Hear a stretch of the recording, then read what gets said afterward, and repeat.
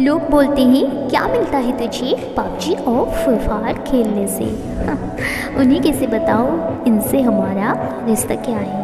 PUBG का दिल हमसे तोड़ा नहीं जाता है और फ्री फायर से मुँह मोड़ा नहीं जाता है।